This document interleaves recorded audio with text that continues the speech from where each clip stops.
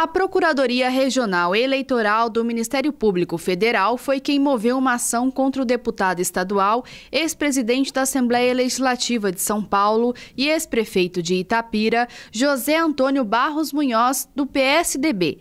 A acusação é de uso indevido dos meios de comunicação em Itapira, especificamente do jornal Gazeta Itapirense e do município de Ituverava, jornais Tribuna de Ituverava e O Progresso. A irregularidade foi constatada no período de 2014, ano eleitoral. Na ocasião, o Tucano foi eleito com 194.983 votos.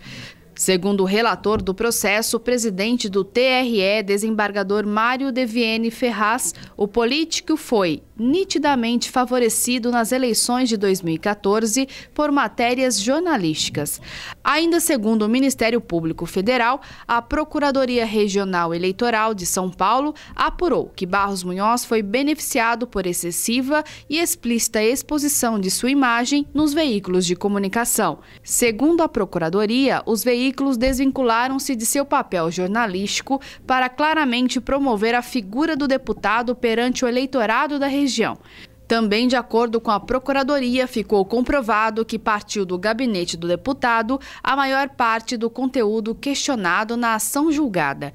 O gabinete produzia comunicados de imprensa que eram encaminhados para jornais selecionados. O TRE decidiu então pela cassação do mandato do deputado Barros Munhoz, tornando o tucano inelegível durante oito anos. Cabe recurso contra a decisão do tribunal. Os advogados do Tucano consideram a decisão equivocada e vão recorrer. Até o julgamento da defesa, Barros Munhoz continua no cargo da Assembleia Legislativa. Munhoz foi eleito deputado estadual pela primeira vez em 1987, ficando no cargo até 94. Em 2006, foi novamente eleito. Presidiu a Assembleia Legislativa do Estado de São Paulo em dois biênios, 2009 a 2011 e 2011 a 2013. Foi prefeito de Tapira entre 77 e 82 e de 97 a 2004.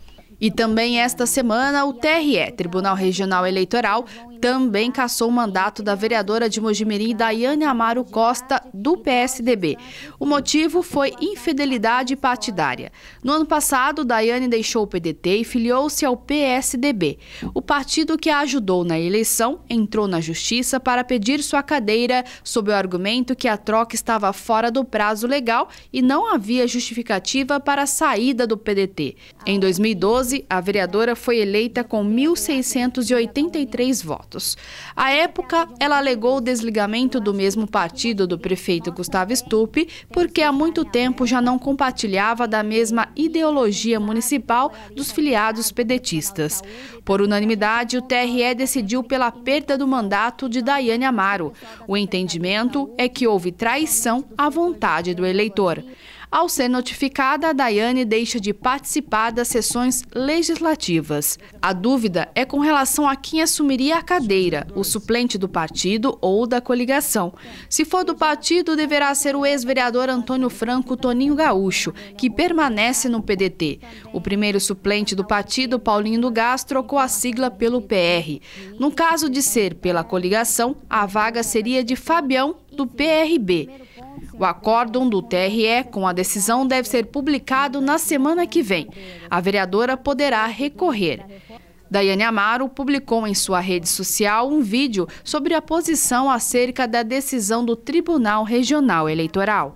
Infelizmente, o PDT Mojimirim não mostrava ter aquelas diretrizes nacionais, aquelas diretrizes da fundação do partido.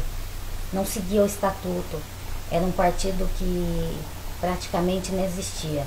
Eles não faziam reuniões, eles não tinham registro, não tinham atas, é, nunca conversava com seus filiados, não existia o PDT mulher, o PDT jovem.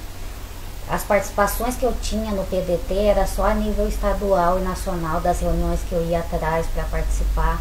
E aqui eu sempre lutei, inclusive cheguei a pedir várias vezes para o presidente nacional que movimentasse algo por aqui que o PDT aqui não funcionava da maneira que deveria.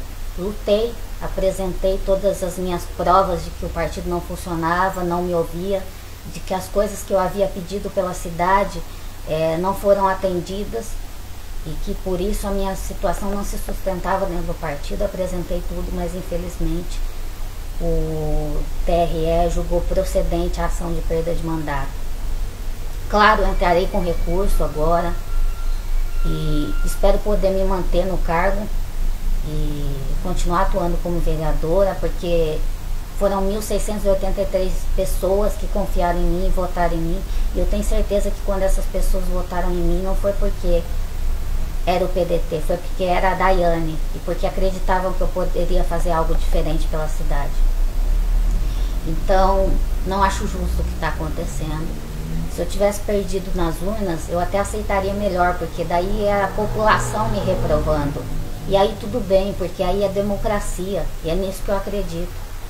Mas eu senti como se tirassem a minha voz de uma maneira muito brusca. E estou muito chateada, estou muito desapontada, não posso esconder de vocês essa situação.